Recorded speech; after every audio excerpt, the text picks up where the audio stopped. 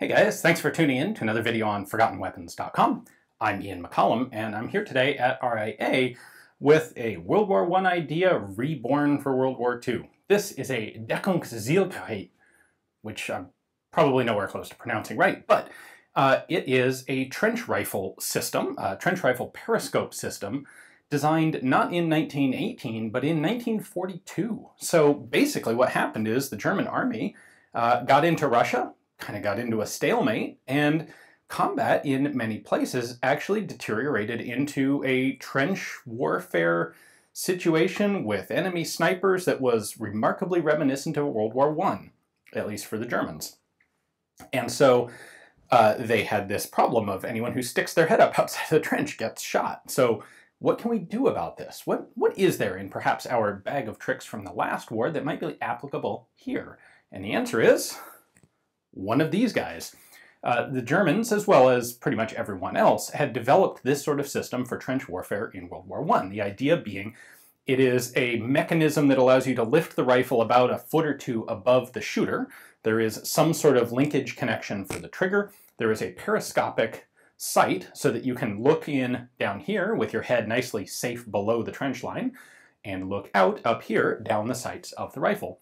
Now what made these contraptions really contraptiony in World War I was that everyone was using bolt-action rifles. And so all of these devices had a complicated mechanical set of linkages so that you could cycle the bolt from down here uh, to make the things a little more practical and having to set it up, aim it, and then bring the whole thing down every time you wanted to fire another shot. What the Germans did here is design this specifically for their self-loading rifles, the Gewehr 41s, both Mauser and Walther made. Now, turns out not a ton of those got into actual field service, and so as a stopgap, they actually modified these things uh, to accept Russian SVT rifles that had been captured, which is kind of interesting. Uh, and in a pinch, you could also just stick a Kar 98K in it, and it would fit and work. Like, this is a very German version of this sort of device. It is highly adjustable, it is multi-purpose, it's got clamps and screws and all sorts of bits to it. Um, they would eventually develop one that was lighter and specifically for the Sturmgewehr. It's not clear exactly how many of those were actually made. Frankly, it's not clear how many of these were made, but probably not very many. Uh, at any rate, let's go in and take a closer look at it and see what did the Germans do to go back to trench warfare in 1942. We have a great many thumb screws on this, and they serve all sorts of different purposes. So down here, you can actually loosen up the screw on the stock and pivot it up like that for transport or storage to make the thing a little bit less, a little bit more compact. You can also take out the front screw and take the stock off entirely.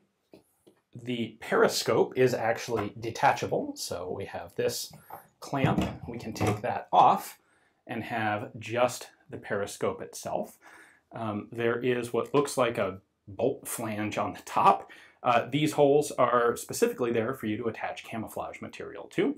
The idea would be to set one of these things up and have the enemy not notice it so that you could use it for both shooting and observation in general.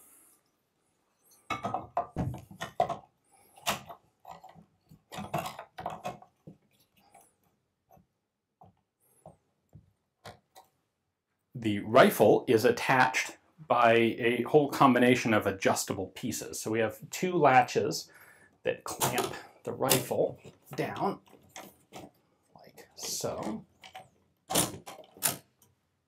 So I can lift this out.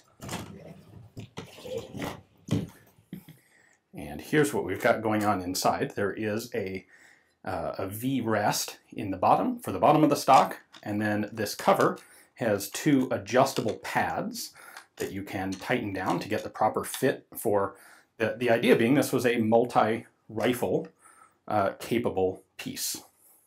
That bottom pad is attached uh, down here, so it can pivot here, and you can move the supports to a couple of different holes.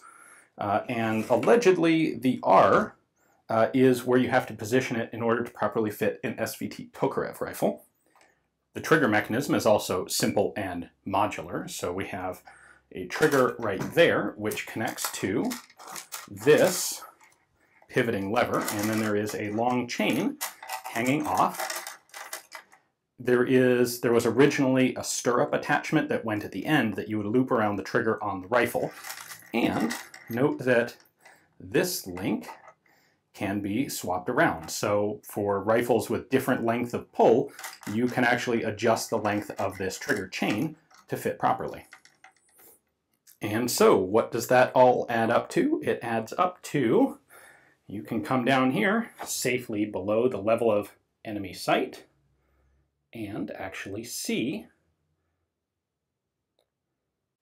your sights, mostly. I don't quite have the rifle perfectly aligned, uh, but you can certainly see how this would work. And it would at least sort of mostly work. Uh, certainly better than sticking your head up. I think everyone would rather make a few less effective shots than risk uh, a Russian sniper. A formal manual for the device was actually published in January of 1943. Um, as I said at the beginning, it's not clear how many of these were made. This particular one has been extensively refurbished and rebuilt, um, but it's the closest I've ever seen to an intact one, so I thought it would be pretty cool to bring to you guys. Uh, and man, it's just kind of weirdly anachronistic to see a semi-auto battle rifle clamped into a World War I periscopic trench sight. Hopefully you guys enjoyed the video. Thanks for watching.